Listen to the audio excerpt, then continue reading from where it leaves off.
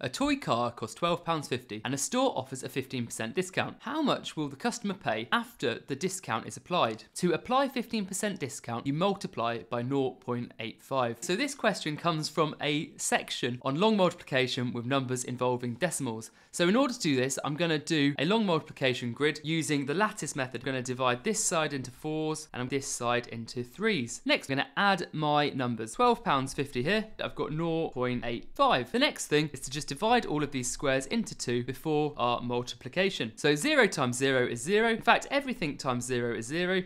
So this column will be filled with zeros and this row will be filled with zeros as well. Next we've got 1 times 8 which is 0, 8. Then I've got 2 times 8 which is 16. Then I've got 5 times 8 which is 40. On this bottom bit here I've got 5 times 5 which is 25. Then I've got 2 times 5 which is 10. And then I've got 1 times 5 which is 0, 5. Now remember with this lattice method if you've not seen it before we add up down the diagonals that we have created. So first of all, we've got zero here, so that's just going to be zero. Then we've got zero add zero add five, so that will give us five. In this diagonal here, we've got all of the zeros and two, so that's just going to make two. In this diagonal here, we've actually got things to add together. So we've got four add six is 10, add the one is 11, add the five makes 16, so I'm going to put a six here, and I'm going to put a little one there to carry that into the next diagonal. And then what we've got is we've got 0, add 0, add 1, add 8, add 0, add 1.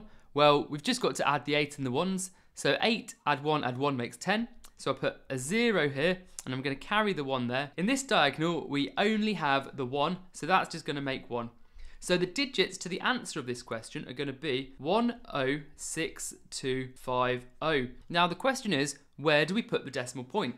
Well, with the grid method, what happens is we can follow to where the decimal points meet. So we see if this one travels down here and this one travels across here, the decimal points are going to meet here. So if we follow this line down here, we end up here. So the answer, well, the answer to multiplying these two decimals is 10.625. However, this is a money question. So £10.625 doesn't exist. So we're going to have to round this number to two decimal places, which means we're going to go up because 5 goes up. So we're going to be looking at £10 and 63 pence. So if you need more work at long multiplication with decimals, check out tutorial 22 at crackmaths.co.uk.